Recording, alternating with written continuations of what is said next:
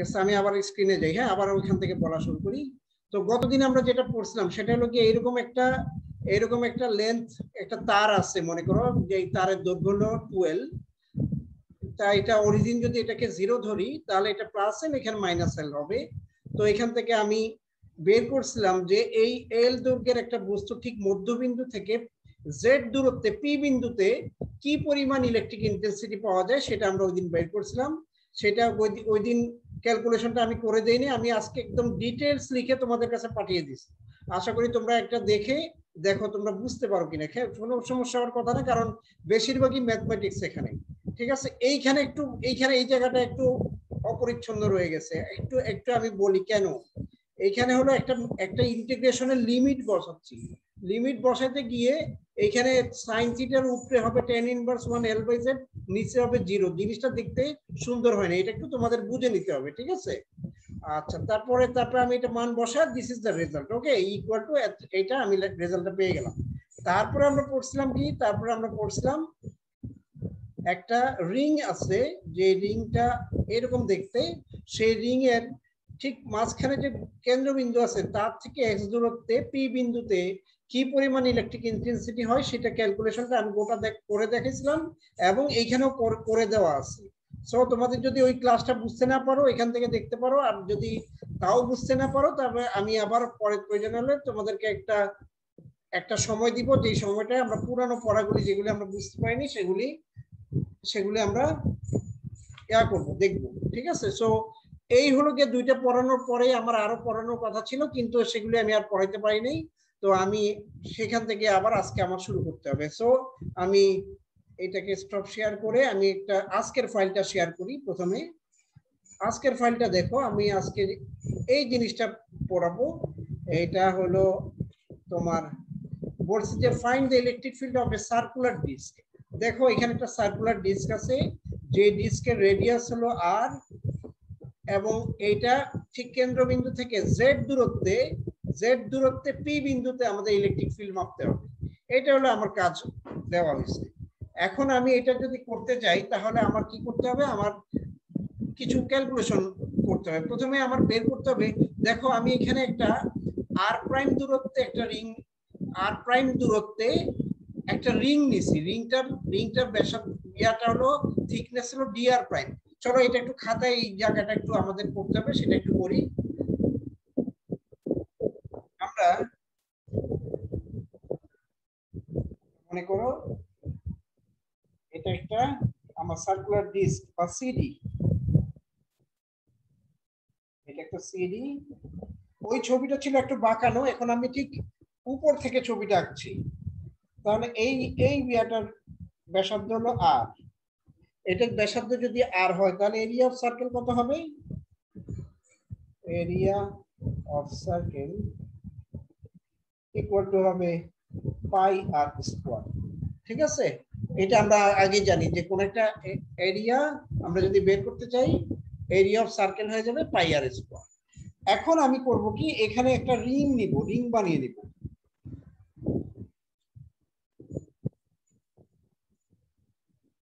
Ring বানিয়ে নিব, যে রিং এর নিশ্চয়ই দুইটা ব্যাসার্ধ থাকবে। ঠিক গোল হচ্ছে না, কিন্তু তোমরা বুঝে নিতে হবে যে এটা গোল। কম্পাস ব্যবহার করছি না, তো সরাসরি হাতে আঁকছি একটু বাঁকা টাকা হতে পারে, ঠিক আছে? এই এতটুক হলো আর প্রাইম এতটুক হলো এতটুক হলো, এই অংশটা হলো ডিআর প্রাইম ঠিক আছে? এতটুক হলো ডিআর প্রাইম এতটুকু হলো আর প্রাইম আমার এখন প্রথমে করতে হবে কি? এই জায়গাটা, এইটার এটার এরিয়া বের করতে হবে। তাহলে এটাকে আমি যদি বলি রিং তাহলে এরিয়া অফ রিং আমি যদি বের করতে চাই, দেখো এখানে এখানে কিন্তু আবার দুইটা সার্কেল আছে।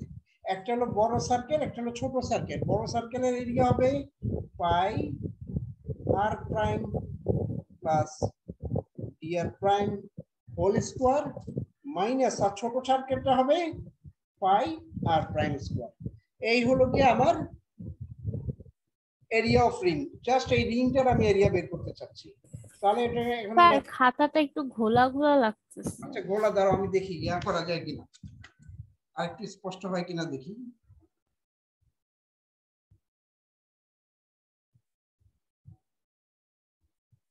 এখন এখন দেখো তো।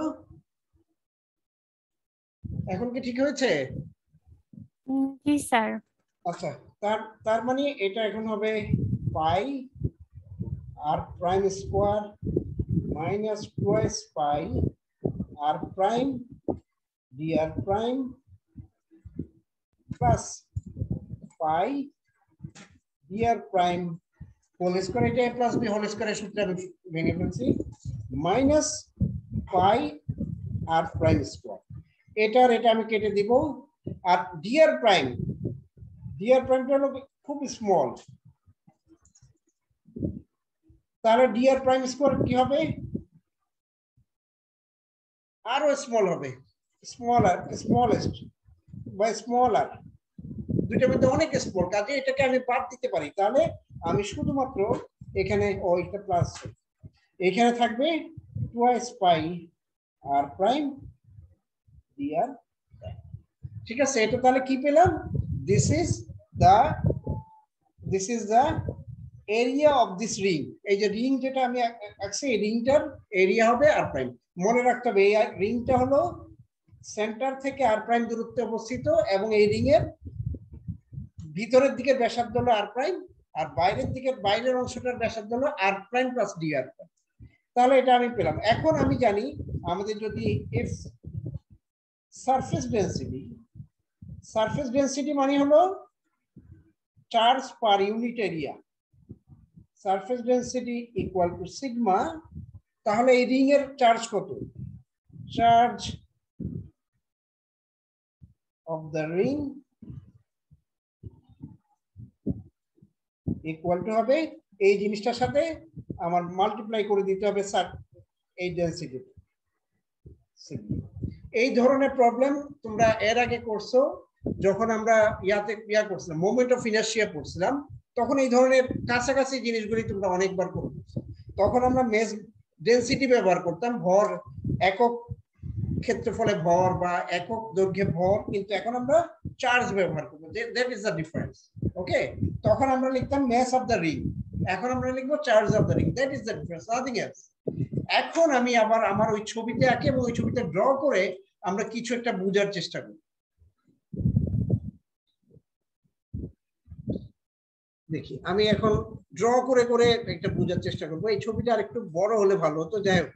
এখন দেখি, আমরা যদি ড্র করতে চাই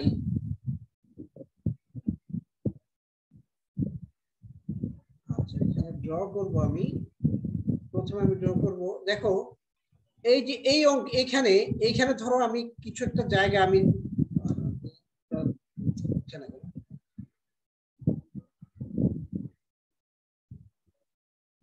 চেষ্টা করছি ড্র করতে ড্র এই এই জায়গাটায় ধরো কিছু চার্জ আছে, ঠিক আছে? এই চার্জের জন্য আমি আমি একটা ইলেকট্রিক ফিল্ড এখন তৈরি করব। সেই ইলেকট্রিক ফিল্ডটা যাবে হলো, এই ইলেকট্রিক ফিল্ডটা যাবে হলো এখান থেকে শুরু করে এই বরাবর, ঠিক আছে? এই বরাবর। এখন আমি এই লাইনটাকে একটু বড় করে দিই, এই লাইনটাকে একটু বড় করে দিই না আবার বোঝা যাবে না। ইজেড কেন আসছে, এটা পরে আসছি।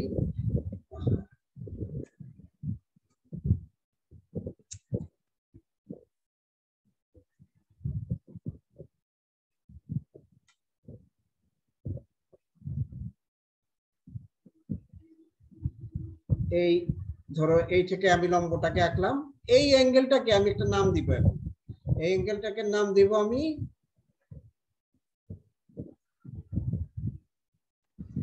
থিটা।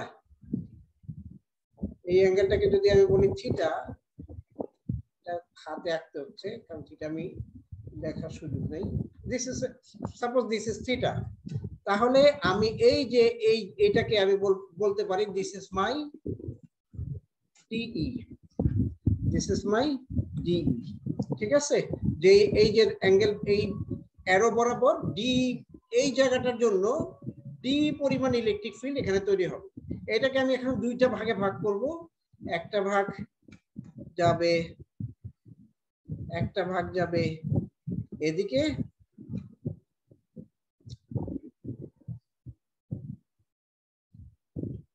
একটা ভাগ যাবে এদিকে। আর একটা ভাগ যাবে এদিকে, তাই না? এইটা ঠিক এই বরাবর।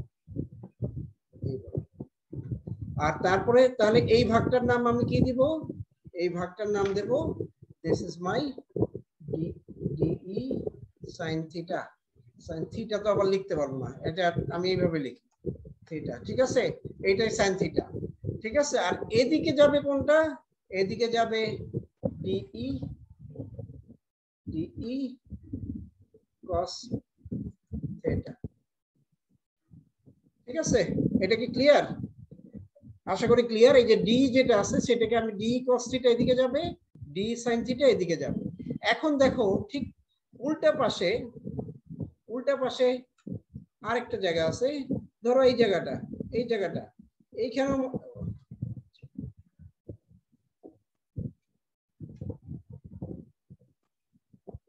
আঁকতে গেলে একটু সমস্যা হচ্ছে। অভ্যস্ত না আমি তো। হ্যাঁ। এই জায়গাটা, এই জায়গাটায় আবার কিছু চার্জ আছে, ধরো ঠিক একই রকম চার্জ আছে, যার জন্য আমি ঠিক আরেকটা আরেকটা ছবি আঁকতে পারি, এরকম। আরেকটা ছবি আঁকতে পারি, যেই ছবিটা এখানে ডিটা যাবে হলো এই বরাবর। এই বরাবর। এটাকে আমি নাম দিই this is my d E d E and এটা এটার জন্য আমি তাহলে আবার দুইটা কম্পোনেন্টে ভাগ করতে পারি। একটা কম্পোনেন্টকে আমি বলব ডিই সাইন থিটা এদিকে যাবে হলো d E sine theta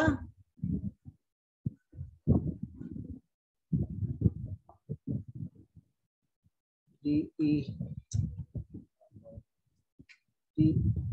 d E sine sine theta আর ঠিক ওই বরাবর, এখানে এই বরাবর আমি আবার একটা অ্যারো দিয়ে দেখাই।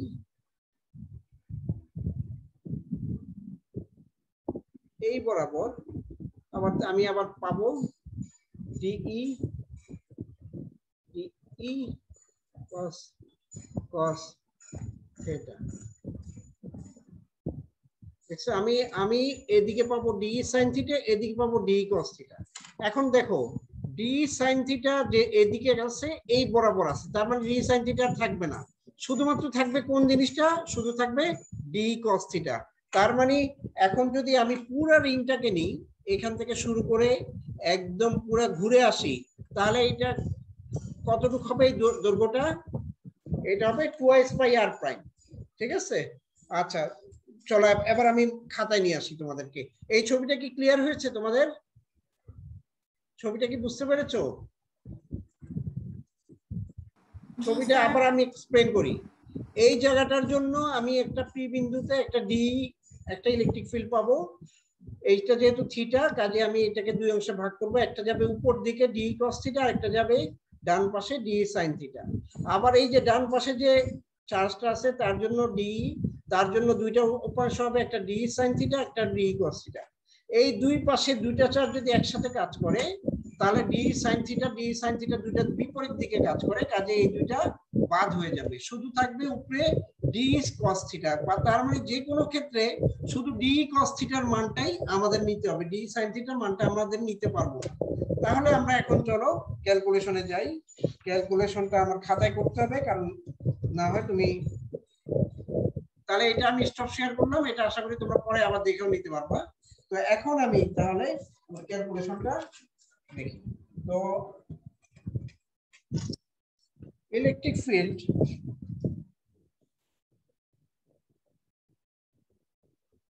electric field field due to ring ring. Ring মানে কি? যে রিংটা আছে, পুরো রিংটার জন্য যে রিংটা কতটুকু থেকে কতটুকু? From r prime to r prime plus gear ইয়াটা স্ক্রিনটা একটু ছোট হলে ভালো আচ্ছা এখন তাহলে এটা কি হবে? দিস ইজ মাই ডিই এটা হবে। শুধুমাত্র কস থিটাটা নিতে পারব, আমি আগে বলছি। তাহলে আমি প্রথমে লিখব কত যে এটা one over four by epsilon এইটা তো আমার বারবার লিখতে হয়। তারপরে আমার লিখতে হবে হলো, কি পরিমাণ চার্জ ওখানে আছে? সেখানে আছে হলো twice pi r prime d r prime sigma এটা কোথায় বের করছিলাম? এটা বের করছিলাম আগের পৃষ্ঠায়, দেখো।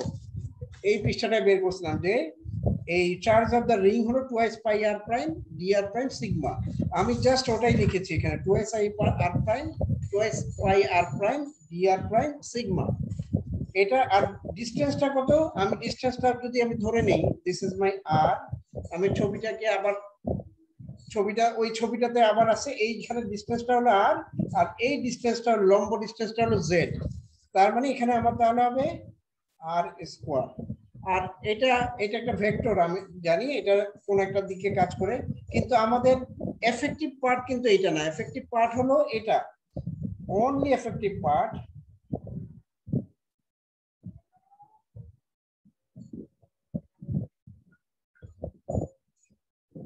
ওটাকে আমি বলব ডিইজেড কারণ এটা জেড অক্ষ বরাবর। দিস ইজ ইকুয়াল টু আমি একটু সিম্পলিফাই করব, এটাকে আমি সবসময় কে ধরে নেব? কারণ কে না ধরলে বারবার এটা লিখতে কষ্ট হয়।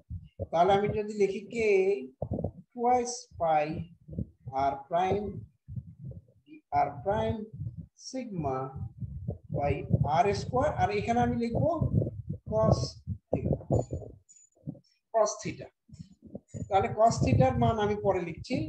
এখন আমি তাহলে এই ডিজেড মানে কি? ডিজেড পেলাম হলো শুধুমাত্র এই যে রিংটা আছে, এই রিং এর জন্য। এখন আমি যদি পুরোটা আমি বের করতে চাই, তাহলে রিং, এরকম রিং কতগুলি তৈরি করা সম্ভব? সুন্দর এখান থেকে শুরু করে আমি এতটুকু পর্যন্ত অনেকগুলি রিং তৈরি করতে পারব। তাহলে আমি ইন্টিগ্রেশন করব এভাবে। Integrating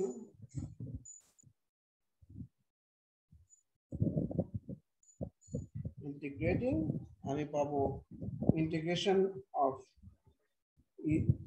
sorry ez equal to integration of dz equal to integration of k twice pi r prime r prime sigma divided by r square into cos theta এখন এই ছবিটা যদি আমরা একবার দেখি, ছবিটা ছিল এরকম। আমি এখানে একটু ছবিটা আঁকি আবার, ছোট করে।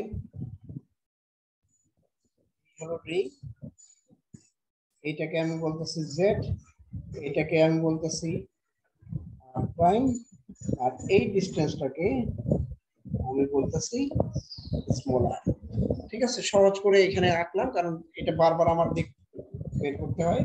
সো এখানে কি আসবে? দেখো, এখানে ইন্টিগ্রেশন হলো ডিআর প্রাইমের আচ্ছা এটা ইন্টিগ্রেশন কোথা থেকে কোথা হবে? এটা হবে জিরো থেকে আর পর্যন্ত। কারণ আমরা সবচেয়ে ছোট রিং বানাতে পারি আমি জিরোতে এবং সবচেয়ে বড় রিং বানাতে পারি আর ক্যাপিটাল আর তাহলে এটা কি দাঁড়াল এটা? Zero to r into k twice pi k sigma r prime d r prime নিচে হবে আর স্কোয়ারকে আমি লিখতে পারি r square sorry z z square plus r square আর cos থিটা কে কি লিখতে পারি দেখো এটা যদি থিটা হয় ভূমি বাই অতিভুজ তার মানে this is equal to nothing but z divided by z square plus r square to the power half এটা হলো আমার, তাহলে আমি সব কিছুর মান বসা দিচ্ছি। এখন আমার দেখতে, ও, এখানে ক্যাপিটাল আর হবে, আমি বলব। দিস ইজ ক্যাপিটাল আর তাহলে এখন আমার যেটা করতে হবে, সেটা হলো গিয়ে যে সব জিনিস আমার ইন্টিগ্রেশনে পার্ট না, এগুলো সবগুলিকে আমি ইন্টিগ্রেশনে বাইরে নিয়ে যাব। তাহলে কি কি বাইরে যাবে?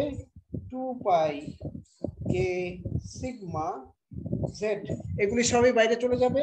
এটার ভিতরে থাকবে zero to r r prime d r prime z square plus r prime square three by two এই ইন্টিগ্রেশনটা আমার এখন করতে হবে। তাই এই ইন্টিগ্রেশন করতে গেলে আমি যেটা করব সেটা হলো আমি প্রথমে ধরে নিব let z square plus r prime square equal to ধরি এক্স ধরে নিলাম। এখন আমি যদি এটাকে ইন্টিগ্রেট করি, তাহলে আমি পাবো twice r prime d r prime equal to twice x d x এটা পেলাম একটা। তারপরে এখন আমার লিমিটটা দেখতে হবে। when when r prime equal to 0 x equal to হবে z তাই না? দেখো, এখানে মান বসাও। আর প্রাইম equal টু 0 হলে x equal to z r when r prime equal to r যখন আর এর মান আর তাহলে এক্স হবে root over z square plus r square দেখো, ঠিক আছে কিনা? জাস্ট এই ইকুয়েশন থেকে আমি লিমিটের মানটা পরিবর্তন করে নিলাম। সো আমার এখন ইন্টিগ্রেশনটা হয়ে গেল আরেক রকম। এখন তাহলে এটা হয়ে গেল twice pi k sigma z এখানে এখন ইন্টিগ্রেশনের লিমিটগুলি চেঞ্জ হয়ে গেল, এটা হয়ে গেল জেড এটা হয়ে গেল root over z square plus r square r square আর ইন্টিগ্রেশন এটা দেখো r prime d r prime সেখানে আমি এক্স ডিএক্স বসা দিতে পারি এক্স ডিএক্স আর নিচে z square plus r prime square equal to হলো এক্স স্কোয়ার তাহলে এক্স স্কোয়ার এই টু টু কাটা যাবে, নিচে থাকবে এক্স কিউব এক্স কিউব যদি থাকে, তাহলে এই ইন্টিগ্রেশনটা এখন অনেক সহজ। Twice pi k sigma z এটা হয়ে গেল integration of 1 over x square dx z root over z square plus r square. এখন আমি এটাতে, এটা ইন্টিগ্রেশনটা করে ফেলব। Twice pi k sigma z এইভাবে লিখে মাইনাস ওয়ান ওভার এক্স এটাকে ইন্টিগ্রেশন করলে আসে মাইনাস ওয়ান ওভার এক্স সবচেয়ে সহজ integration x to the power n এর ইন্টিগ্রেশন হলো x n plus one divided by n plus 1 just n এর জায়গায় তুমি মাইনাস টু বসাবা। তাহলে এখানে কি দাঁড়াবে? এখানে দাঁড়াবে z root over z square plus r square তাহলে এটা ফাইনাল রেজাল্ট কি? ছোট ছোট করে আমি এখানে লিখে ফেলি। যেহেতু জেডটা আমি আগে লিখতে পারি, তাহলে কি হবে? Twice pi k sigma z z কাটা যাবে কাজে এখানে আমি লিখব one minus z divided by root over z square plus r square. This is the result. আমরা যদি এই যে বইয়ের রেজাল্টটা একটু দেখি আচ্ছা এটা এটা যেহেতু ইয়াতে দেওয়াই আছে খাতায় আমি ভিডিওতে তোমাদের দিয়ে দিতে পারব কাজে তোমাদের যখন করব, ভিডিও থেকে দেখে দেখে করে নিতে পারবা। আমরা রেজাল্টটা একটু শেয়ার করি বই থেকে। তো বই থেকে আমরা পেয়েছিলাম this is the this is the result ও আচ্ছা এখানে একটা কাজ করার ছিল। কে এর মান তুমি পরে সব কাজ শেষ হওয়ার পর কে এর মান ফোর ফাইভ সেভেন জিরো বসা দিতে পারো। না বসালেও সমস্যা নাই। This is the result okay আচ্ছা এখন তাহলে আমরা একটা প্রবলেম শেষ করলাম এবং আমরা ইলেকট্রিক ফিল্ড সম্পর্কিত যতগুলি প্রবলেম আছে, সবগুলি প্রবলেম সলভ করে ফেলছি। এখন আমাদের নতুন একটা টপিক পড়তে হবে। নতুন টপিকটার প্রথমে আমরা কিছু ছবি টবি দেখে জিনিসগুলি বুঝার চেষ্টা করি, তারপরে আস্তে আস্তে একটু ডিটেলসে যাব। প্রথমে আমি এটার নিচে, এই পৃষ্ঠার নিচে যাই। লাইন অফ ফোর্স এটা তুমি বাংলায় পড়েছিল, এটাকে বলা হয়েছিল বড় রেখা বড় রেখা খেয়াল করো, একটা যদি পজিটিভ চার্জ আছে এই পজিটিভ চার্জের চারিপাশে কতগুলো অ্যারো দেখতে পাচ্ছ? এখানে অ্যারো এখানে দেখো অ্যারোর পরিমাণ কিন্তু খুব বেশি। এই এই বাম পাশে যেটা আছে, সেটাতে অ্যারোর পরিমাণ খুব বেশি। ডান পাশে যেটা আছে, সেখানে অ্যারোর পরিমাণ কম। এটা সিম্পলি এটা সিগনিফাই করে যে বাম পাশে যে কিউটা আছে সেটা চার্জ অনেক বেশি। এবং ডান পাশে যে কিউ আছে, তার চার্জ কম। যার জন্য যখন এটার চার্জ বেশি, তখন বেশি পরিমাণ লাইন অফ ফোর্সের ভেক্টরটার মান অনেক বেশি হবে। এই লাইনগুলি কি সিগনিফাই করে? এই লাইনগুলি সিগনিফাই করে যে তুমি এই লাইনের যে কোনো একটা পয়েন্টে একটা ইউনিট পজিটিভ চার্জ যদি রাখো সে কোন দিকে বিকশিত হবে এবং কত জোরে বিকশিত হবে, সেই জিনিসটা কিন্তু এই লাইন অফ ফোর্স গুলি তোমাদেরকে বলে দেবে। এখন প্রথমে তুমি প্রশ্ন করতে পারো যে লাইন অফ ফোর্স কি দেখা যায়? লাইন অফ ফোর্স আসলে দেখা যায় না। তুমি একটা চার্জের চারিপাশে লাইন অফ ফোর্স সাইড এটা আসলে এক ধরনের ইমাজিনারি লাইন ইমাজিনারি লাইন যে লাইনগুলি আমাকে কল্পনা করতে সাহায্য করে যে এখানে যদি আমি একটা পয়েন্ট চার্জ থাকি, সে কত জোরে, কত কোন দিকে চলে যাবে। এখন দেখো, এটা যেহেতু প্লাস কিউ এর জন্য লাইন ইয়াগুলি সবগুলি বাইরের দিকে। তার মানে এখানে যদি একটা পজিটিভ চার্জ রাখো, সেটা বাইরের দিকে চলে যাবে, দূরের দিকে চলে যাবে। এখন যদি এটা মাইনাস কিউ হতো চার্জটা যদি নেগেটিভ হতো, তাহলে কি হতো? অ্যারোগুলির ডিরেকশন সব ভিতর দিকে হয়ে যেত। দেখে কোনো এক্সাম্পল আছে কি? এইখানে তো এক্সাম্পল দেওয়া নেই। আচ্ছা এটা এটা খাতায় এঁকে দেখা, দেখানো যেত? আমি যাই হোক, আমি তোমাদেরকে মুখেই বলে দিই। এটা যদি মাইনাস কিউ হতো বা চার্জটা যদি নেগেটিভ হতো, সবগুলি অ্যারোর ডিরেকশন উল্টা দিকে হতো। তার মানে কি? একটা পজিটিভ চার্জ যদি এখানে রাখতা ইউনিট পজিটিভ চার্জ সে এই কিউ চার্জে তখন আকর্ষিত হতো। আমরা জানি বিপরীত বিপরীত ধর্মী চার্জ এক অন্যকে আকর্ষণ করে। তার মানে আশা করি যে তোমার লাইন অফ ফোর্সের ব্যাপারটা কনসেপ্টটা বুঝতে পেরেছ। লাইন অফ ফোর্সের তাহলে আমরা দুইটা জিনিস বুঝি। সেটা হলো লাইন অফ ফোর্সটা আমাকে কি দিবে? ডিরেকশন দিবে। যে কোন ডিরেকশনে একটা পজিটিভ চার্জকে বিকর্ষণ বা আকর্ষণ করে। আবার কি দিবে? কত বলে সে বিকর্ষণ বা আকর্ষণ দিবে? যত বেশি অ্যারো দেখাতে পারবা, তত সে বেশি বলে সে আকর্ষণ বা বিকর্ষণ। চলো আরও কিছু ছবি দেখি।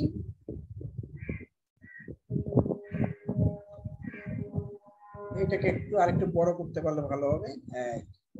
দেখো, এটা যদি আইসোলেটেড চার্জ থাকে, তাহলে জাস্ট এরকম এরকম লাইন অফ ফোর্স গুলি বাইরের দিকে চলে যাচ্ছে।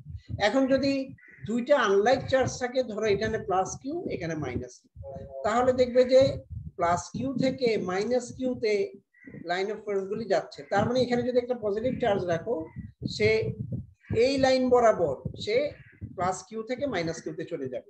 যেখানে রাখো, যে কোনো একটা লাইনে মনে রাখতে হবে লাইন অফ ফোর্স গুলি কিন্তু never coincide with each other এরা কিন্তু একে একে অন্যের উপরে কখনোই ওভারল্যাপ করবে না। এরা সবসময় ডিফারেন্ট থাকবে। এই যে লাইন অফ ফোর্স গুলি দেখতে পাচ্ছ পিছন দিকে, এগুলি একদম ঘুরে এখানে আসবে। কিন্তু কখনোই তারা একে অন্যকে ওভারল্যাপ করবে এখন লাইক চার্জ যদি হয়, একই ধরনের চার্জ হয় হয় প্লাস কিউ বা মাইনাস কিউ তখন এই লাইন অফ ফোর্স গুলি একটাতে আরেকটার দিকে যাবে না। এটা করবে কি? মানে জাস্ট ইয়া হবে, বিকশিত হবে। এখানে যে কোনো একটা পজিটিভ চার্জ রাখো, সেটা এদিকে চলে যাবে। এখানে রাখলে এদিকে চলে যাবে। সো এটা হলো আরেকটা ব্যাখ্যা। তারপর আমরা আরেকটু নিচে যাই।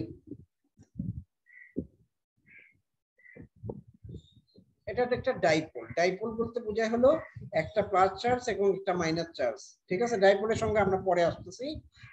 মানে অ্যাট্রাকশন দ্বারা মানে এগুলি খেলে অ্যাট্রাক্ট করে, তার জন্য এগুলি লাইনগুলি জয়েন্ট একে অন্যের সাথে জয়েন্ট কিন্তু রিপালশন হয় কখন যখন একই রকম চার্জ হয়, তখন তারা লাইন অফ ফোর্স গুলি কখনোই একটা থেকে আরেকটা যায় না। সেগুলি সব অন্যদিকে চলে যায়। এটা হলো রিপালশন এখন let us see what is the definition of flux ঠিক আছে? চলো আমরা একটা একটা করে ছবি দেখার চেষ্টা করি। এই ছবিটা দেখি, বাম পাশের এই ছবিটা তোমরা আশা করি আমার এরোটা দেখতে পাচ্ছ। এখানে প্রচুর পরিমাণ পজিটিভ চার্জ আছে এই জায়গাটায়। প্রচুর পরিমাণ পজিটিভ চার্জ থাকার ফলে লাইন অফ ফোর্সের সংখ্যা অনেক বেশি। কিন্তু এই ছবিটা দেখো, এই ছবিতে কিন্তু বেশি মাত্র ছয়টা পজিটিভ চার্জ দেওয়া আছে, যার জন্য লাইন অফ ফোর্স অনেক বেশি না। ঠিক আছে? তারপরে এখন এই জিনিসের ব্যাপারটা কি? এখানে দেখো এ লেখা আছে একটা জিনিস।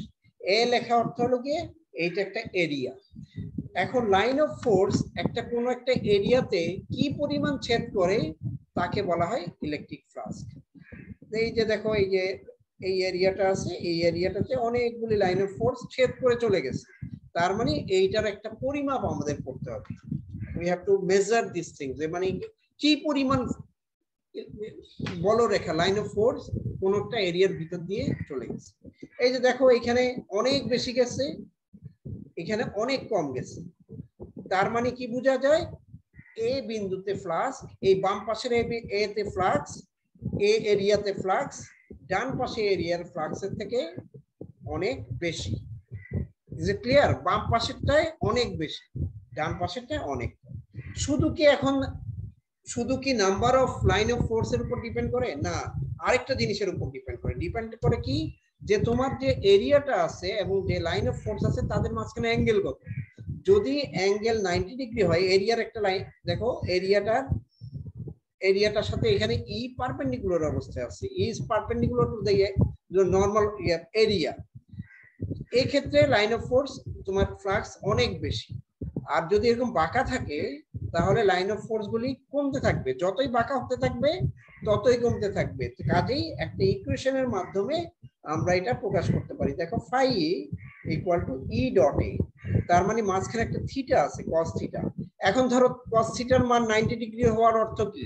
যে লাইন অফ ফোর্স গুলি সোজা এইভাবে চলে গেছে, এইভাবে চলে গেছে এইটার তখন কোনো ফ্লাক্স থাকবে না। ফ্লাক্স থাকতে গেলে অবশ্যই লাইন অফ ফোর্স গুলিকে এই এরিয়ার ভিতর দিয়ে যেতে হবে, ঠিক আছে? সো এটা আমার আরেকটু definition let us move forward আমরা আরেকটু সামনে যাই।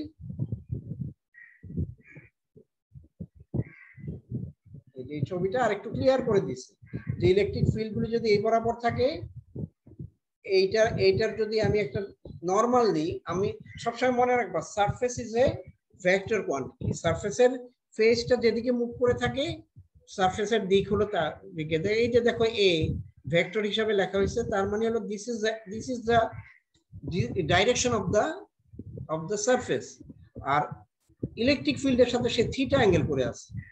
So flux phi equal to হবে E A cos theta if this theta is 90 degree then there will be no flux phi will be zero and if this theta is zero degree that means the a and e are both in the same direction okay তাহলে this is my another এখন electric flux এটা just একটা সংজ্ঞা দিছে the number of electric field lines passing through a certain area is known as electric flux through that area খুব সহজ একটা সংজ্ঞা বলে দিয়েছে, কিন্তু ওরা কিন্তু এখনও এখানে ভিতর ইয়ার কথা বলে নাই। মানে অ্যাঙ্গেলের কথা কিছু বলে একটু লিখে দিচ্ছে এখানে, কিন্তু বলেনি চলো আমরা একটু সামনে এখন আরেকটু জিনিস আমার জানতে হবে। What is surface and solid angle surface আমি একটু আগে বলছি surface is a vector quantity সারফেসের একটা ডিরেকশন থাকতে পারে। এখন ধরো একটা ইরেগুলার সারফেস ইরেগুলার সারফেসের দেখি এখানে নিচে কোনো ছবি কি ইরেগুলার সারফেসের আমি কি বের করছি কিনা আমার তো মনে পড়ছে না। ইরেগুলার সারফেসটা আমি দেখি না কাজে ইরেগুলার সারফেস এখানে থাক, আমি একটা ছবি ইন্টারনেট থেকে দেখার চেষ্টা করি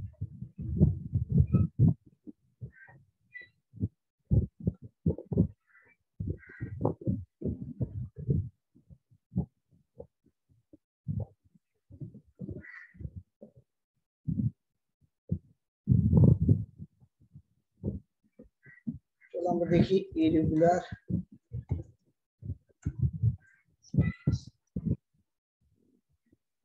এটা আমরা একটু ইমেজ দেখি ইমেজের ভিতর পাওয়া যায় কিনা কোথাও। এই দেখো, এই যে এইটা, এইটাকে নিয়ে এটাই হলো সবচেয়ে ভালো দেখা যাচ্ছে।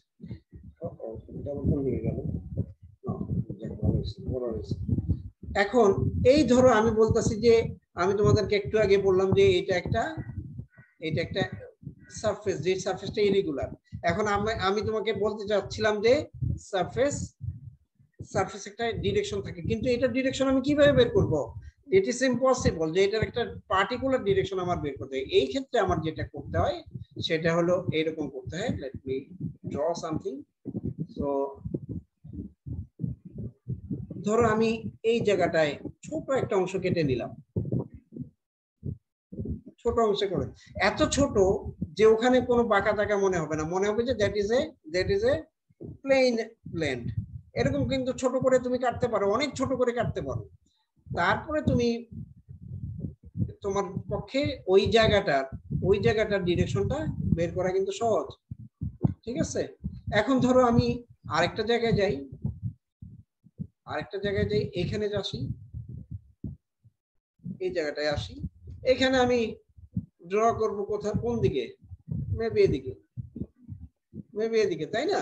তার মানে কি? যখন আমি ইরেগুলার একটা সারফেস নিব ইরেগুলার সারফেসের এক এক পয়েন্টে ডিরেকশন হবে এক এক দিকে। ইজ ইট ক্লিয়ার সবাই ঘুমিয়ে পড়লা নাকি? আচ্ছা এটা কি বুঝতে পারছ? বলো। ছবিটা কি পিক্সেল দিয়ে আঁকা হয়েছে না ওই যে ছোট ছোট ডট ডট একটু জোরে বলো আমি শুনতে পাইনি। স্যার বললাম যে ছবিটা পিক্সেল দিয়ে আঁকা হয়েছে না বা পয়েন্টগুলো পিক্সেল দিয়ে আঁকা হয়েছে না। এই ছবিটা এই ছবিটা এই ছবিটা আমি তোমাকে জাস্ট একটা এক্সাম্পল বের করার চেষ্টা করছি যে একটা ইরেগুলার সারফেস কেমন দেখতে হয় ঠিক আছে? এবং ইরেগুলার সারফেসের ডিরেকশন কোন দিকে হবে সেটা কোনো ঠিক নাই ঠিক আছে? আর এটা করতে হবে কি ইরেগুলার সারফেসে আমার ছোট ছোট অংশে ভাগ করতে হবে। এই ছোট ছোট অংশের ডিরেকশনগুলো আমার বাই করতে হবে। এইরকম তার মানে এরকম এই সারফেসের ডিরেকশন এক এক জায়গায় এক এক রকম হবে। আমি জাস্ট এই জিনিসটা পয়েন্ট আউট করতে চাচ্ছি ওকে আচ্ছা ঠিক আছে, আমরা তাহলে এখান থেকে যাই।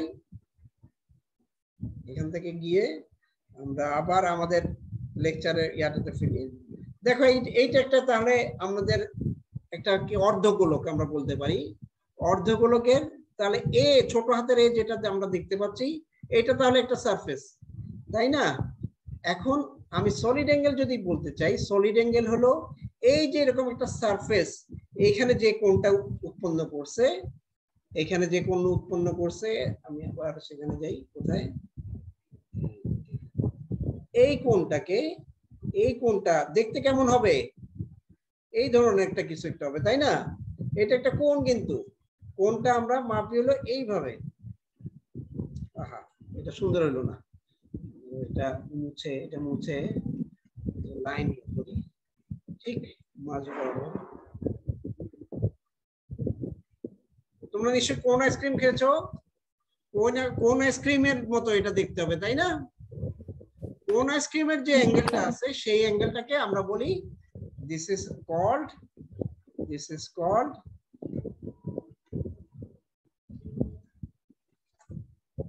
solid solid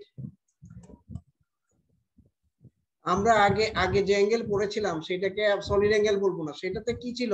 সেটাতে ছিল জাস্ট এরকম দুইটা দুইটা, এরকম দুইটা রেখা শুধু। এরকম শুধু দুইটা রেখা। দুইটা রেখা, মাঝখানের যে জায়গাটা আছে, তাকে আমরা বলছিলাম যে দিস ইজ মাই অ্যাঙ্গেল এটাকে আমি নাম দিয়েছিলাম থিটা থিটা। ঠিক আছে? তার কিন্তু আমি যখন এরকম একটা থ্রি ডাইমেনশনাল অ্যাঙ্গেল আঁকবো, তখন তাকে আমি বলব solid angle okay is it clear আচ্ছা তাহলে আমরা আরেকটু সামনে যাই।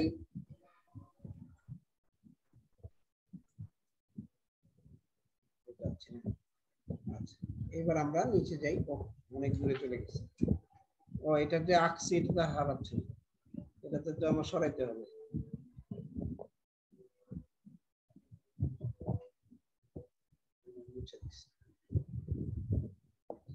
ঠিক আছে? আমরা নিচে যাই। অনেক দেখে আসি। এই এখন দেখো অ্যাঙ্গেল এন্ড সলিড অ্যাঙ্গেল এটার মধ্যে পার্থক্য কি? এটা কিন্তু লেখাটা একটু ঝাপসা, তোমরাও ঝাপসা দেখব আমিও ঝাপসা দেখতেছি।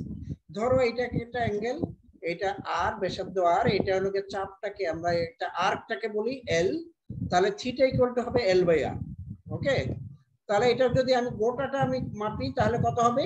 It will become two pi r ঠিক একইভাবে সলিড অ্যাঙ্গেল কীভাবে পাবো? Area A divided by r square এখানে কিন্তু আর না আর স্কোয়ার আর একটু টোটাল সলিড অ্যাঙ্গেলটা কত হবে? এটা হবে ফোর পাই এটা এইটুকু জিনিস মনে রাখতে হবে ওকে আচ্ছা এখন আমি আর একটু সামনে যাব।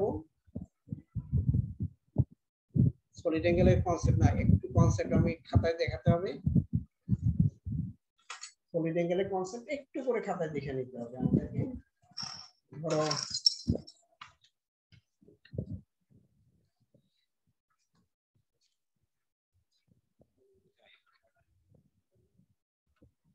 solid angle concepts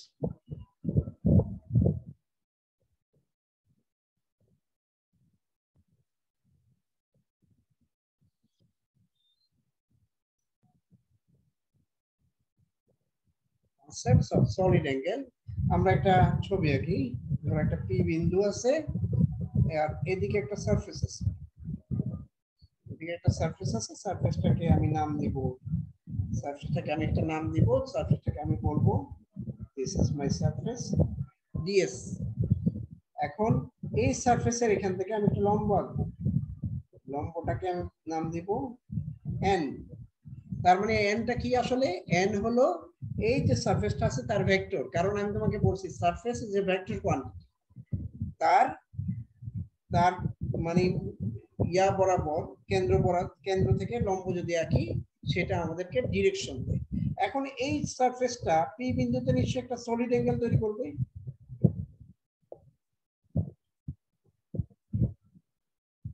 পি বিন্দুতে একটা সলিড অ্যাঙ্গেল তৈরি করবে। এই সলিড অ্যাঙ্গেলে ধরো আমি পি বিন্দু থেকে একটা রেডিয়াস ভেক্টর মাপে আঁকি।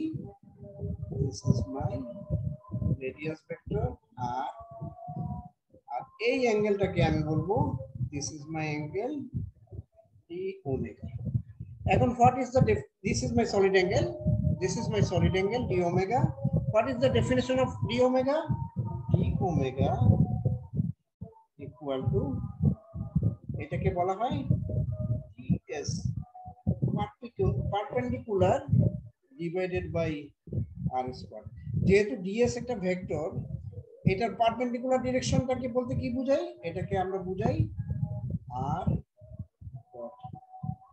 and ds এটাকে এটা হলো ds perpendicular divided by r square এটাকে আমরা আরেকটু সহজভাবে ds এটাকে যদি মাঝখানে অ্যাঙ্গেল যদি থিটা হয়, তাহলে আমি লিখতে পারি ds cos theta divided by r square এই রেজাল্টটা আমি এরপরে যেটা পড়ব, সেখানে আমার ব্যবহার করতে হবে। ঠিক আছে? এরপর আমরা যেটা পড়ব, সেটাকে আমরা বলি গস ল এই জিনিসটা নিয়ে আমাদের হয়তো আজকে সময়টা বাকি সময়টা কি স্যার এটা কি লিখেছেন? ডিএস ডিএস এটা পারপেন্ডিকুলার এইভাবে একটা চিহ্ন। ঠিক আছে? আচ্ছা। আচ্ছা তারপরে আমরা তাহলে এখন গসলাতে যাই।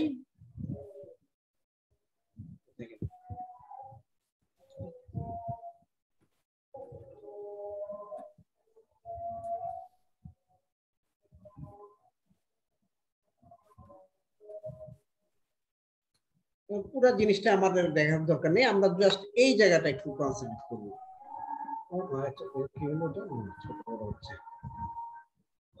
এই জায়গাটা একটু কনসেন্ট্রেট করব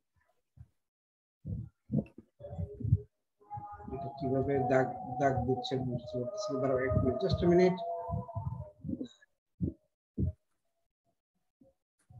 আমাদের কনসেন্ট্রেট করতে হবে না, এটা তো হলো না। এতটুক জায়গা এতটুক জায়গা আমাদের বুঝতে হবে এই জিনিসটা কি। আচ্ছা চলো এটাতে আমি খাতা নিয়ে আসি তোমাদেরকে, কারণ এইখান থেকে বুঝার থেকে, আমার খাতা থেকে বুঝাটা অনেক সহজ হবে। তো আমি স্টপ শেয়ার করে আমি একটা ফর্মুলা লিখি। ফর্মুলাটা হলো এরকম। প্রথমে আমি লিখব what is E dot n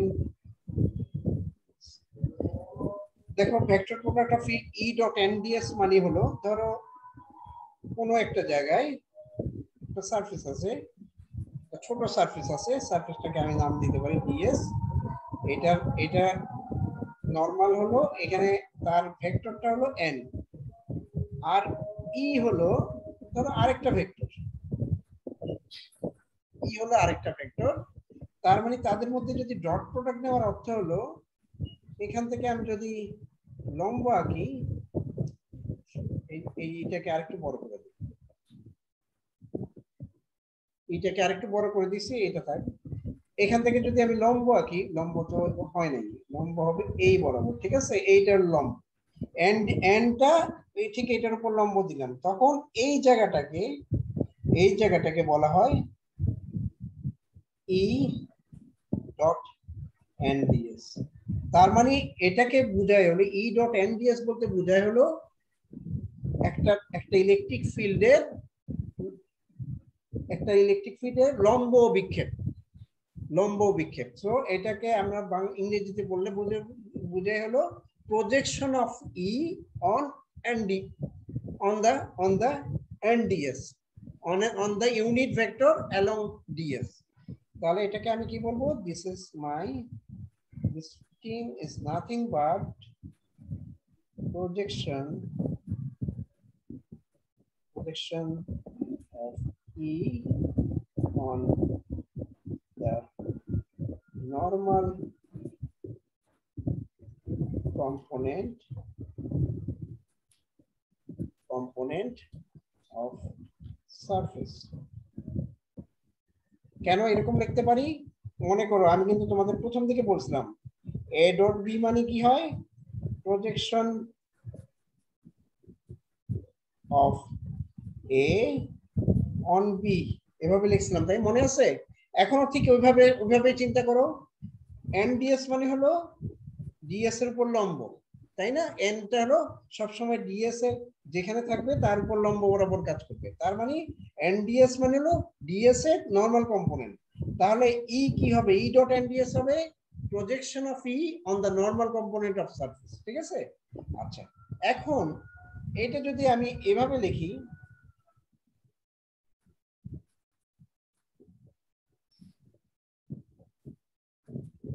এটাকে আমি বলতেছি? সারফেস ধরো আমার একটা সারফেস আছে, এরকম অনেক বড়।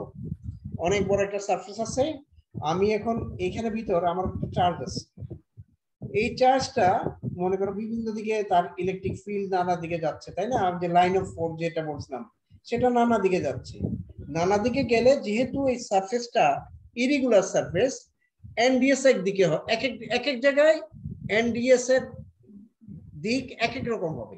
যার জন্য আমার কি করতে হবে?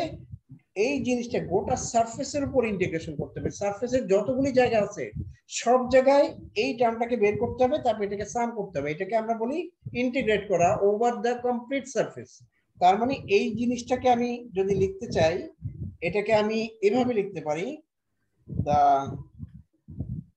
দেখো, লেখাটা দেখো দা সারফেস ইন্টিগ্রেশন integration লেখা না বুঝতে পারলে বলো the surface integration of the normal component component of E on the surface over a an enclosed enclosed surface. এই জিনিসটার ইংলিশটা হবে এরকম। দ্য সারফেস ইন্টিগ্রেশন এই যেহেতু এটা ইন্টিগ্রেশনটা সারফেসে তার জন্য আমরা বলব, এটা একটা surface integration of the normal component of E কেন? এন এর উপর কাজ করতেছে ই এন এর উপর কাজ করতেছে, তার জন্য এটা বলব ই এর নর্মাল কম্পোনেন্ট এই এন আবার থেকে আসলো? এই এনটা আসছে অন ফ্রম দ্য সারফেস সারফেসের উপর নর্মাল আর ওভার এন এনক্লোজ সারফেস মানে হলো কি এটা পুরো সারফেস জুড়ে, পুরাটা সারফেস জুড়েই তোমার করতে হবে, কোনো জায়গা বাদ দিতে পারবে না। তখন তো আমরা এই ধরনের একটা চিহ্ন ব্যবহার করি, তাই না? এনক্লোজ সারফেসের একটা চিহ্ন ব্যবহার করি। এখন এই, এইটা আসলে শেষ না। এটা, এটার হলো গিয়ে তারপরে আমার গসলো যখন আমি লিখব, তখন আমার লিখতে হবে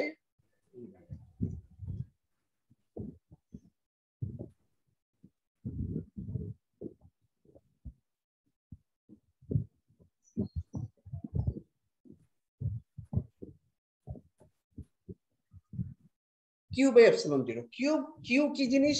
কিউ হলো যে সারফেসটা তুমি আঁকছো, সেখানে অনেক চার্জ থাকতে পারে। কি পরিমাণ চার্জ আছে এমন হতে পারে যে সেখানে একটাই চার্জ আছে? শুধু একটা চার্জ আছে এমন হতে পারে। এমনও হতে পারে যে এখানে অনেকগুলি চার্জ আছে।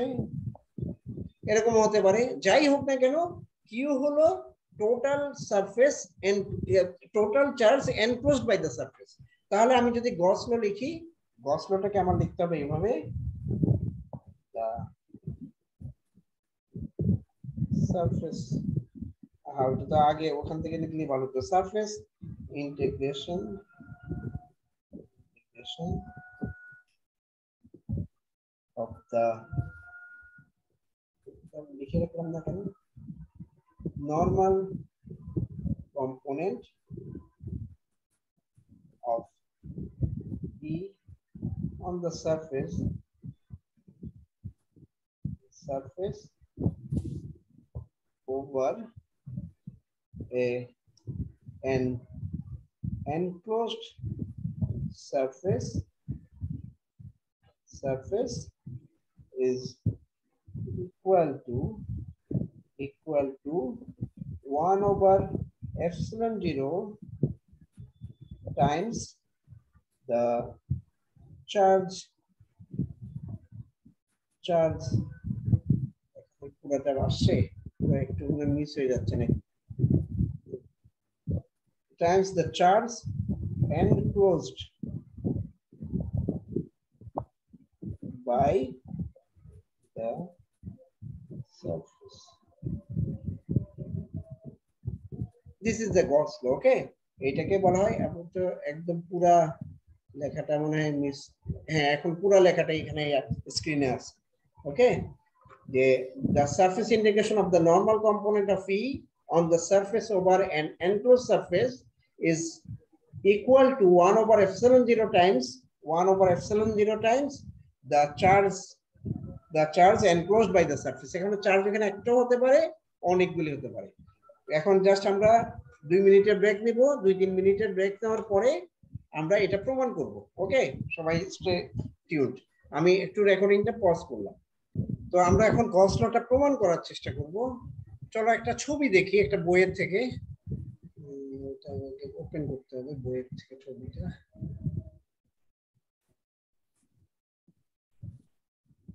তো আমি এখন এটা একটা বই তোমাদেরকে শেয়ার করি তোমাদের সাথে। ঠিক আছে, এটা জস লয়ের উপর একটা বই। এই বইটা আমরা একটু নিচে যাই।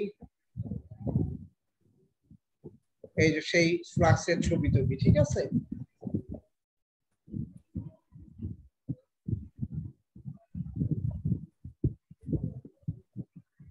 একটু আগে আমি যেটা বলছিলাম সেটা, এইটা তোমাদেরকে আমি দিয়ে দিব। তোমরা এটা দেখে নিতে পারো। This is a picture okay এই ছবিটা আমার দরকার আছে। আমি বাম দিকে ছবিটা, ডান দিকের ছবিটা অত কনসেন্ট্রেট করব না। বাম দিকের ছবিটা কনসেন্ট্রেট করব, কিন্তু এখানে কিন্তু একটা ভুল আছে। বলো তো কি ভুল আছে? ভুলটা হলো আমাদের যে নর্মালটা সারফেসের উপর নর্মাল আমার মনে হচ্ছে ভুল জায়গায় ইয়া হয়েছে। এটা হওয়া উচিত ছিল এই বরাবর। এটা হওয়া উচিত ছিল এই বরাবর, কিন্তু এটা ওরা ওরা ইয়া করে ফেলছে। এটা ইয়া করে ফেলছে, এই বরাবর। তো আমরা একটা, এই ছবিটা একটু সুন্দর করে আমাদের খাতায় এঁকে তারপরে আমরা সামনের দিকে আগাবো। আরেক জায়গায় একটু ছবিটা বের করে নিই, না হয়তো আমি স্ক্রিন শেয়ার না করলে খুঁজে পাবো। জাস্ট মিনিট একটু। ঠিক আছে। এখন তাহলে স্ক্রিন শেয়ারটা ইয়া করে আমি ছবিটা আঁকি খাতায়। এখন দেখো ধরে নেই this is a irregular surface ঠিক আছে ইরেগুলার সারফেস যে সারফেসের আমি এই জায়গাটায় আমি একটা ডিএস আঁকি। ঠিক আছে, এখানে একটা ডিএস আঁকলাম, আমার ধরো এখানে একটা কিউ আছে কিউ চার্জের থেকে এইখানে এইখানে আমি ডিএস এর লম্বটা আঁকবো এদিকে। এটাকে আমি বলব this is my d s and there is a this is E. Okay তো এখন আমি এইটাকে আমি যদি বের করি what is the value of E E equal to হবে one over four pi epsilon naught E divided by ও আচ্ছা এইটাকে আমি বলে দিই this is my r this is my r r লাগবে আমার আর স্কোয়ার আর এদিকে তাহলে আর এর ডিরেকশন এদিকে হবে, তাহলে আমি আর কে এইভাবে লিখতে পারি। ওকে আর যেদিকে সেদিকে ইউনিট ভেক্টর আমি দিলাম, তার মানে এই ই ভেক্টরটা এইভাবে আমি এক্সপ্রেস করতে পারি। এখন এখন আমি এটাকে এটাকে ই না বলে এটাকে আমি ই থাক অসুবিধা নেই যে সমস্যা নেই। তার ইয়ের নিচে কি লিখেছেন? বোঝা যাচ্ছে না। আচ্ছা কোথায় কোনটা? নিচে আর স্কোয়ার। এটা তো আমি যদি ইয়ের এটা ডেফিনেশন না ইয়ের নিচে। এটার নিচে ই এর নিচে তো এইখানে তো ই আছে এখানে তো নিচে কিছু নাই। আবার লিখব? আর ডি এর পাশে কিছু লিখছেন? ওটা কি ডিএস আবার লিখে দিই। একটু বড় করে লিখি। স্যার ও আচ্ছা ও আচ্ছা এইখানে ই এর পাশে আচ্ছা আচ্ছা ঠিক আছে বুঝতে পারছি। এইটা হলো এইটা হলো ডিএস। এই জায়গাটা হলো ডিএস। এটাকে আমি দেখাইছি অ্যারো দিয়ে ঠিক আছে? এই এই অংশটাকে আমি বলব ডিএস। ডিএস এর উপর লম্ব হলো এন ঠিক আছে? N vector. আর কিউ থেকে আর দূরত্বে আমি ই বের করছি ঠিক আছে? এই বিন্দুতে আমি ই বের করতেছি ই এর ডিরেকশন এদিকে আর এইভাবে লেখার অর্থ হলো কি ইউনিট ভেক্টর অফ আর এটা ডিরেকশন একই দিকে। তার মানে আমি এখন ইলেকট্রিক ফিল্ড এইভাবে বের করলাম। One by four pi epsilon zero E by R square R R okay এখন আমি মনে করো আমি বের করতে চাই ই ডট এন ডিএস এটা আমি এখন বের করতে চাই, ঠিক আছে? এটা যদি এখন বের করতে চাই, আমি কি লিখব? One over four pi epsilon naught E by R square তারপরে আর ডট এন ডিএস ঠিক আছে? জাস্ট কিছুই না, আমি শুধু এনডিএসটা যোগ করলাম। এখন ধরো আমি এই অ্যাঙ্গেলটাকে এই অ্যাঙ্গেলটাকে বলতেছি আমি থিটা তার মানে এটাও একক ভেক্টর, এটাও একক ভেক্টর। তার মানে what will the result result হবে one over four pi epsilon naught E by R square cos theta ds this is now no longer a vector ঠিক আছে? এখন কারণ যেহেতু আমি ডট প্রোডাক্ট আমি করে ফেলছি কাজেই এখন এটাকে আর আমি ভেক্টর বলব না, ঠিক আছে? তার মানে এখন আমি যে এই জায়গাটাকে এই জায়গাটাকে, এই অংশটাকে, আমি বলতে পারি আমার this is my solid angle D omega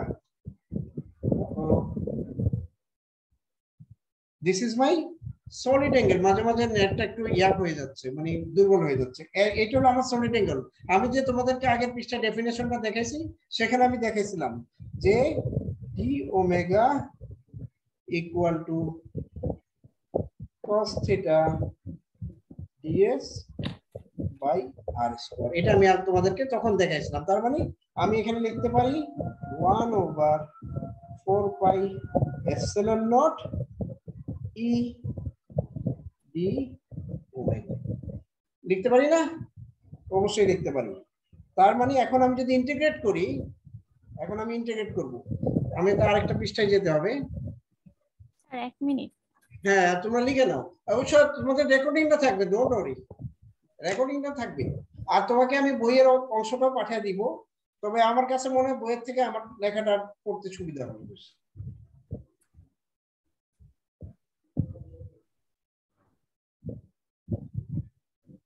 Okay, may I proceed?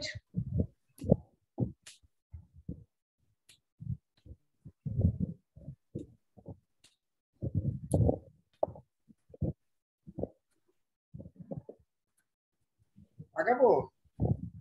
জি স্যার। আচ্ছা ওকে। এটা আমার হাতে থাক। আমার হাতে থাক তাহলে সুবিধা হবে। এখন আমি যেটা করব সেটা হলো নেটটা কি এত স্লো হয়ে গেছে? তো লেখা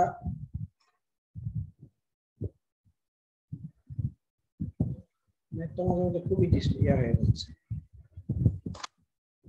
খাতা চেঞ্জ করছে অনেকক্ষণ আগে, কিন্তু এটা দেখা যাচ্ছে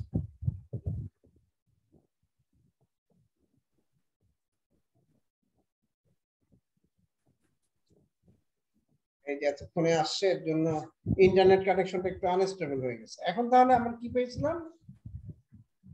E dot N DS equal to one over four pi epsilon naught E D omega এটা হলো আমার রেজাল্ট এখন আমি দুই পাশে ইন্টিগ্রেট করব।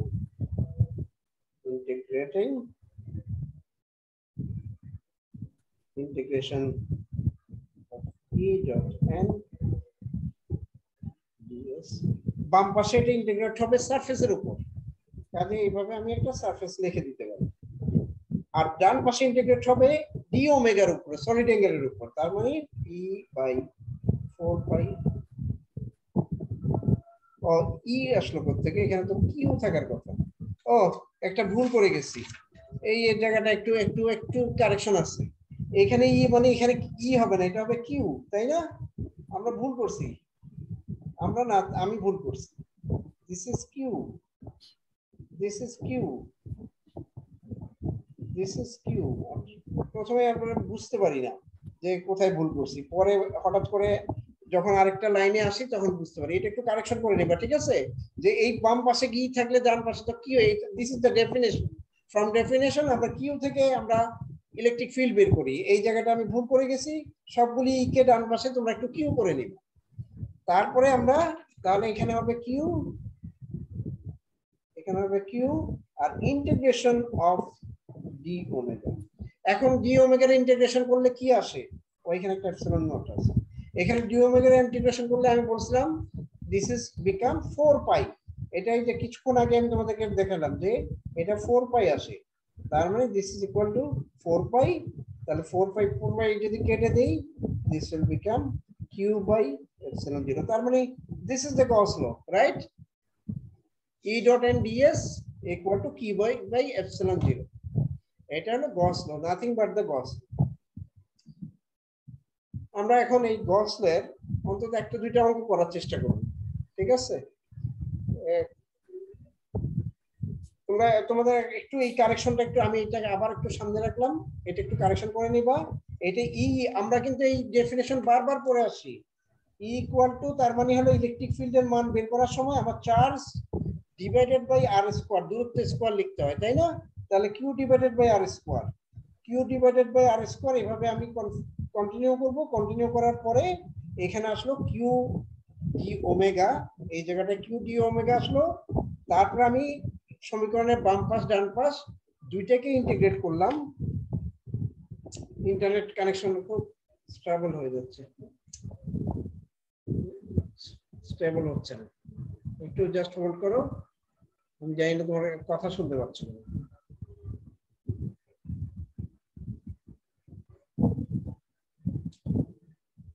অনেকক্ষণ পরে খাতাটা চেঞ্জ হচ্ছে।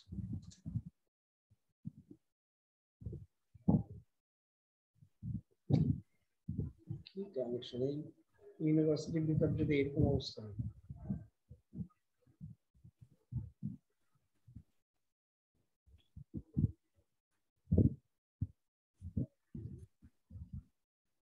স্টে অন হ্যাঁ আমরা ইন্টারনেট কানেকশনটা একটু ইয়া হলে আবার আমরা স্পেন্ড করছি। হ্যাঁ ঠিক আছে অনেকক্ষণ বাদে ইন্টারনেশন কানেকশন স্টেবল হলো। আচ্ছা এখন আমি কি করলাম? সমীকরণের বাম পাশ এবং ডান পাশ দুইটাকে ইন্টিগ্রেট করলাম।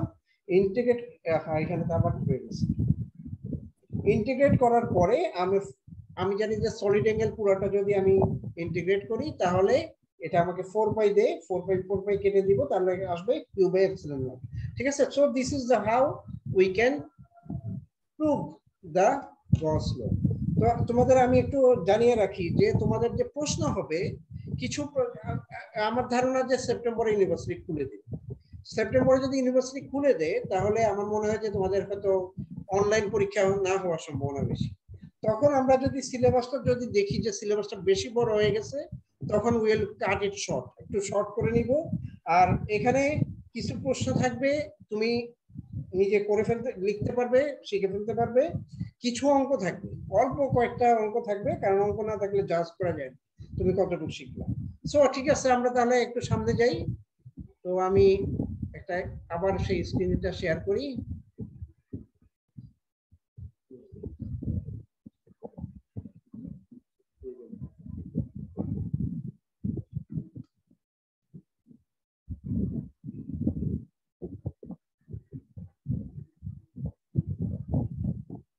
জি হচ্ছে না। এই পেজটা, পৃষ্ঠাটা, ঠিক আছে? এটা এটা তাহলে আমরা গসিয়ান সারফেস শিখে গেলাম। এখন তারপরে আমরা যাব একটা দুটো এক্সাম্পল এটা তো লেখা বুঝে যাচ্ছে। আচ্ছা চলো আমরা একটা ছোট ছোট ছোট কিছু এক্সাম্পল করার চেষ্টা করি। তো এটা মনে হয় যে তুমি বুঝতে পারবে না, এটা যেভাবে লেখা আছে, এটা আমরা বরং খাতায় করি। খাতায় করি। তো আমরা, বলা হয়েছে যে কোনো একটা চার্জ আছে পয়েন্ট চার্জ কিউ এখন তোমাকে বলা হয়েছে যে তুমি তার থেকে আর দূরত্বে আর দূরত্বে এটা ইলেকট্রিক ফিল্ড বের বের করবা, সহজ নিয়মে করবা না। তুমি করবা কি, এটা গসের সূত্র ব্যবহার করবা। So calculate calculate the electric electric intensity of a point charge point charge at a distance at a at a distance r using Gauss law. আমরা এটা করতে হবে গস লো ব্যবহার করে ঠিক আছে গস লো ব্যবহার করে তার মানে আমি যেটা করব আমি এই ছবিটাকে আর এত দূরে আমার দেওয়া দরকার নেই আমি আর মনে করি আর এখানে আছে। তার মানে এটাকে আমি এখানে একটা উইল ইমাজিন এ সারফেস ইয়ার এখানে একটা আমি সারফেস ইমাজিন করব। তাহলে প্রথমে আমার ই বের করতে হবে ঠিক আগের মতো। স্যার লেখাটা পুরো দেখতে পারতেছি না। Charge at a distance let me go to ও আচ্ছা এই লেখাটা না ক্যালকুলেট আমি একটু পড়িয়ে দিই নাকি?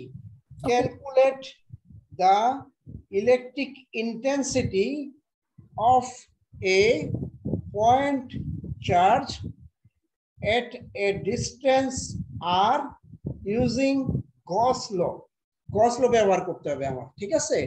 গস ল ব্যবহার করে এই প্রবলেমটা সলভ করতে হবে। যে একটা চার্জ দেওয়া আছে, সেখান থেকে আর দূরত্বে আমি ই কীভাবে বের করব? তো আমি আরেকটা পৃষ্ঠায় চলে যাই। পৃষ্ঠায় যাই। এই পৃষ্ঠায় গিয়ে ধরো এখানে একটা চার্জ কিউ আছে, তার থেকে আর দূরত্বে আমি একটা বিন্দু পি আমি ধরে নিলাম। এখন আমি কি করব? এইখানে একটা এইখানে একটা কাল্পনিক একটা গোলক আঁকবো।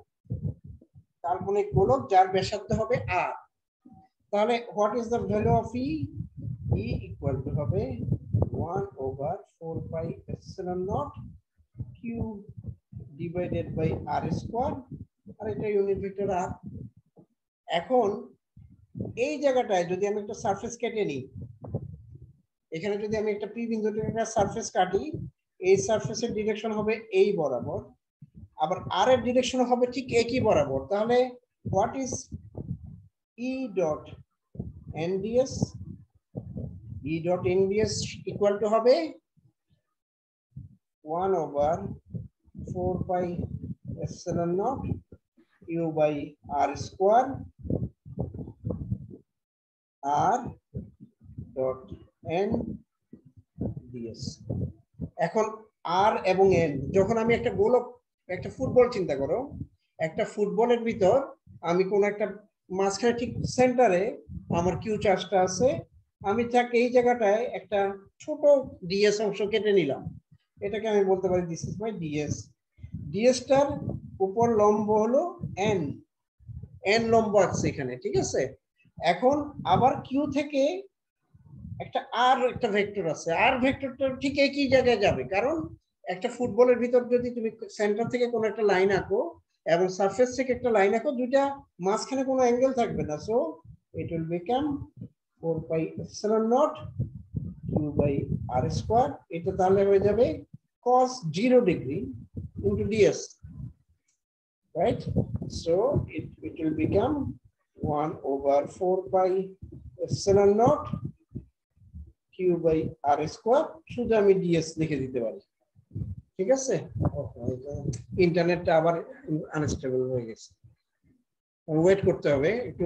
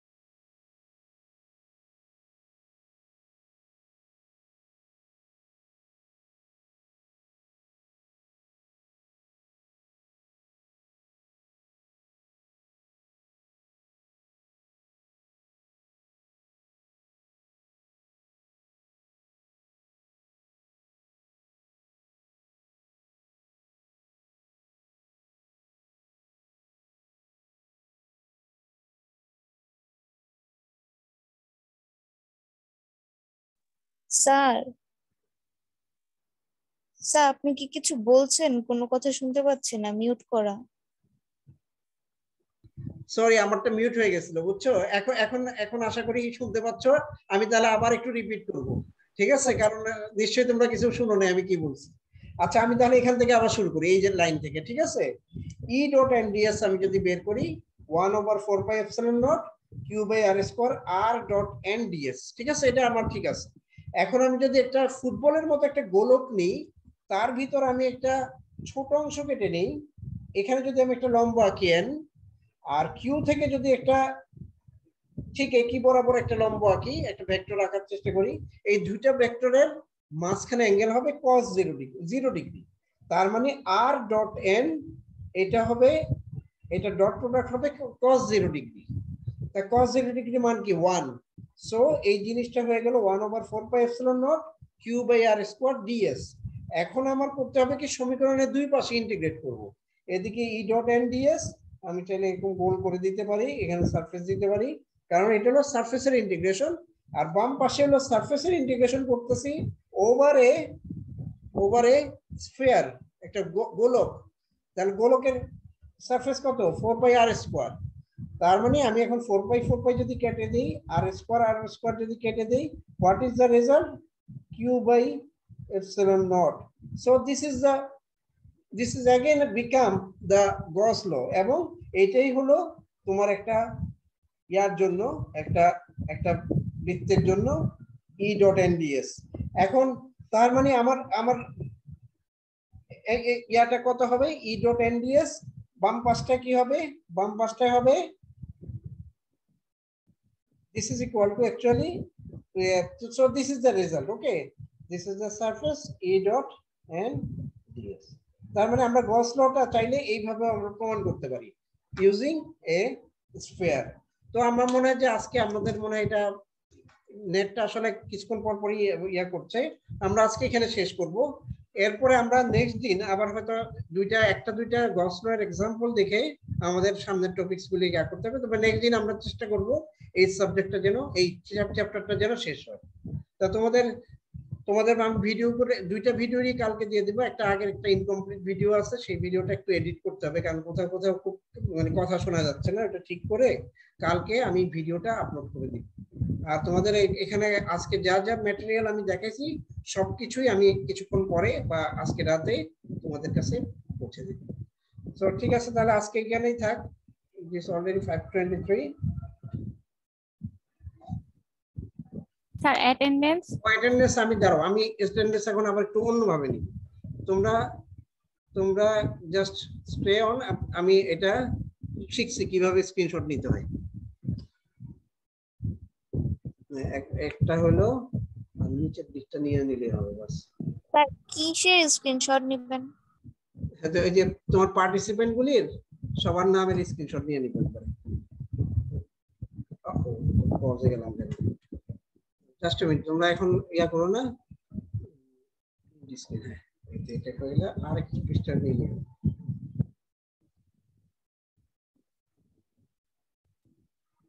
ঠিক আছে অ্যাটেন্ডেন্স হয়ে গেছে। অ্যাটেন্ডেন্সটাও আমি তোমাদেরকে দিয়ে দিব না তাহলে বুঝবা যে কীভাবে নেওয়া হয়েছে? তো ঠিক আছে সবাই সবাই ভালো থেকো খোদা হাফেজ। আসসালামু আলাইকুম স্যার। ওয়ালাইকুম আসসালাম।